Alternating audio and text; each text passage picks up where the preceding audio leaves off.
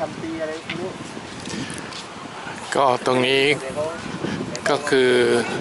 สวนสนนะครับหาดสวนสนปฏิพัฒน์นะฮะวันนี้ก็เป็นวันเสาร์นะครับก็กำลังคึกคืนเลยครับ มีทั้งเก้าอี้ชายหาดนะฮะผู้คนเล่นทะเลแล้วก็มีเจ็ตสกีนะฮะ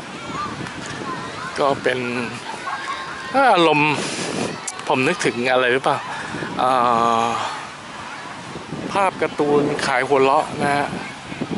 ภาพการ์ตูนขายหัวเราะเลยนะครับ ที่โฆษณาแบบเหมือนในการ์ตูนขายหัวเราะสมัยก่อนนะฮะ